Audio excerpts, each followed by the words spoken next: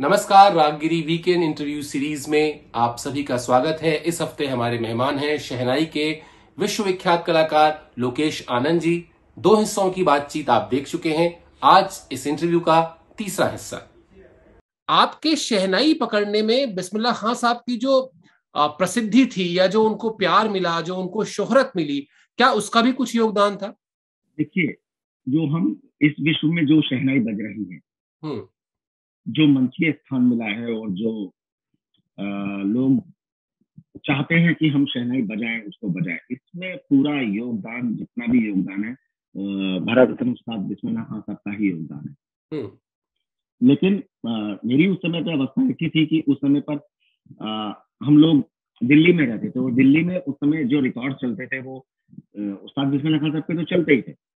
लेकिन एक उस समय टीसी न्यूज़ का एक पंडित अमिताल जी का एक एक रिकॉर्ड आया था बहुत अच्छा। वो हम रेगुलर सुना करते थे। हम्म।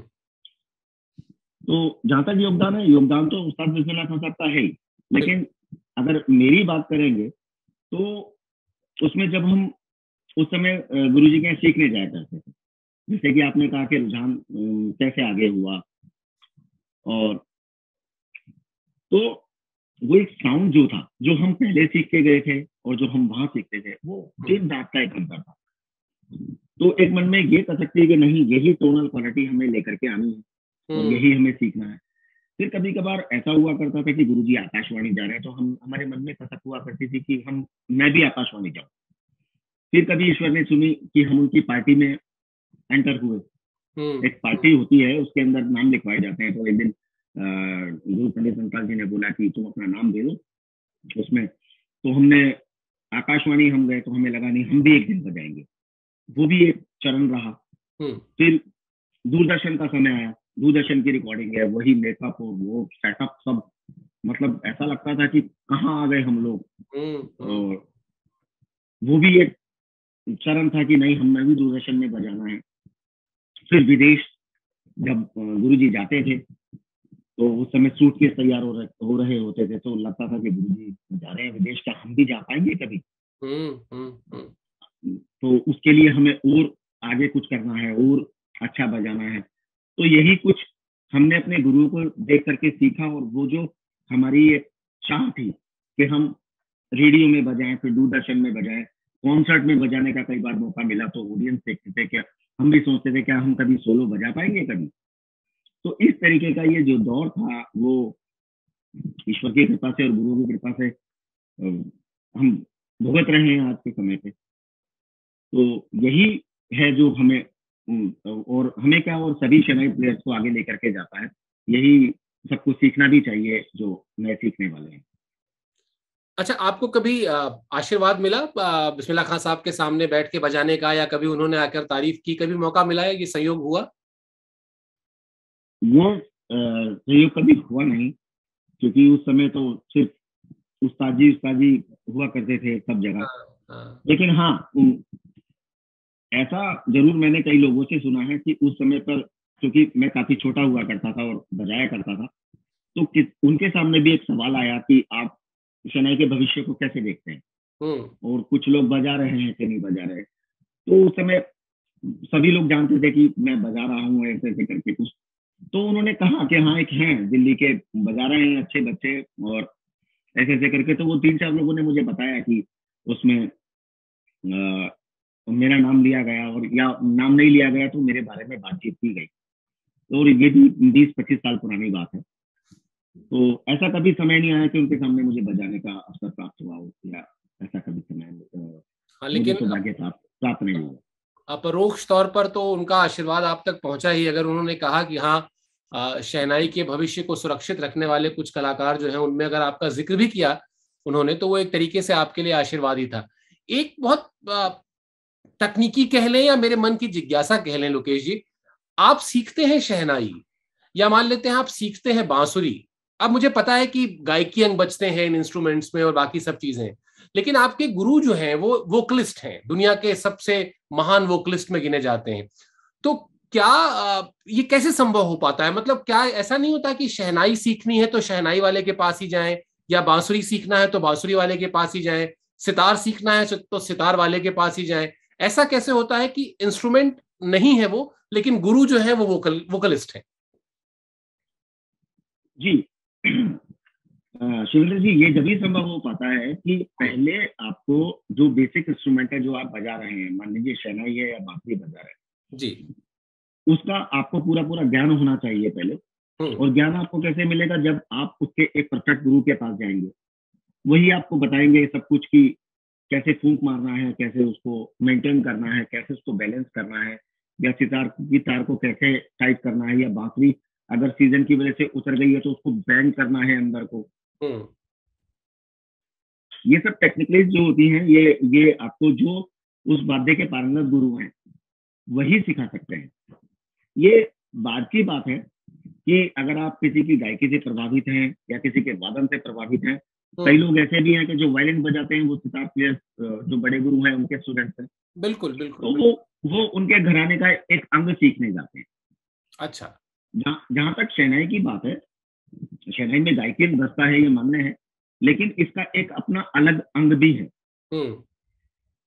इसकी बंदिशें जो है ये शहनाई का जो वाद, वादन है जहाँ तक मैंने एक्सपीरियंस किया है वो बिल्कुल एकदम अलग उसका गाना बजाना है। तो मुझे कहीं कमी खलती थी इस चीज़ की कि मैं जो गाना है उसको परफेक्ट उसी तरीके से उसकी बंदिश के बोल बांट और वो सब उस तरीके से मैं बजाऊं। तो यही इच्छा मेरे मन में रही होगी, यही इसी से कुछ ईश्वरीय और बना होगा तब मैं अपने गायकी के गुरु जी जो है उनके सानिध्य में पहुँचा ईश्वर कृपा से। और उसके बाद जो मेरी शराई में तब्दीली है, वो लोग कहते हैं, ये मुझे आज तक नहीं पता लगा कि क्या है, लेकिन लोग इस बात को बोलते हैं कि शहनाई का जो टेक्निक्स है, मेरा बिल्कुल और से डिफरेंट है। और वो सिर्फ़ इसी वजह से है कि मैं कोशिश करता हूँ कि वो उस घराने की गायकी या उस गाने के जो तरीका है उसको मेंटेन करके चलो। लोकेश जी बस आखिरी सवाल पूछे आपसे उससे पहले एक बार फिर गुजारिश करेंगे कि कोई एक चीज़ जो आपके दिल के करीब हो वो हमें और सुनाइए। जी मैं आपको सबसे पहले जब मैं गया तो गुरुजी ने ये पूछा कि कौन कौन से राग बजाते हैं तो शहनाई के कुछ मुख्य मुख्य राग हैं। मारू वियाग मधुबंती मालकोस इस तरीके के कुछ मुख्य राग हैं जो शनाई में अधिकतर लोग बजाए जाते हैं। कुछ गिने चुने राग हैं। तो मारुविया की एक बंदिश मुझे गुरु जी ने बताई थी। वो मैं आपके सामने प्रस्तुत करता हूँ। मारू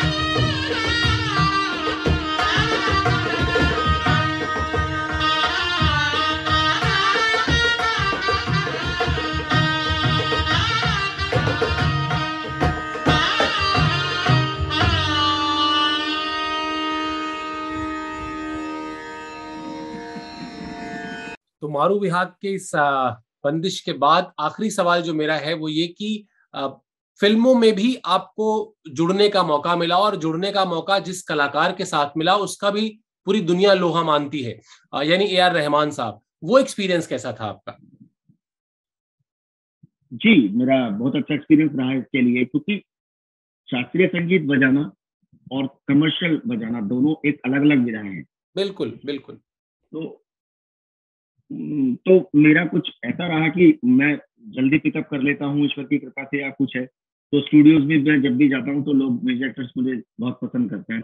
तो ऐसे ही कुछ कुछ खबर होते होते होते होते रहमान साहब के पास और आ, और बहुत सारे जो विदेशों में म्यूज़िक एक्टर्स हैं उनके पास गई। हम्म, हम्म, हम्म। तो उनके यहाँ से मुझे हमेशा फ़ोन आता है उनके अरेंजर्स अमेरिका में यूके में सब जगह बैठे हैं तो उनके सबके काम जो होते हैं फ्यूजन के भी होते हैं कई बार और फिल्मी बैकग्राउंड के भी होते हैं। तो मुझे अवसर प्राप्त होता रहता है ये सब करने का समय समय पर। बस ऐसे ही अवसर और आते रहें। आप देश दुनिया में जो शहनाई की गूंज है उसको ऐसे ही फैलाते रहें। इसकी जो महक है उसको बिखेरते रहें। बहुत बहुत धन्यवाद लोकेश जी आपने समय निकाला और बहुत ढेर सारी शुभकामनाएँ भी रागगिरी की तरफ़ से। बहुत बहुत धन्यवाद शिवेंद्र जी आपका। और रागिनी के श्रोताओं को भी मेरा बहुत बहुत नमस्कार।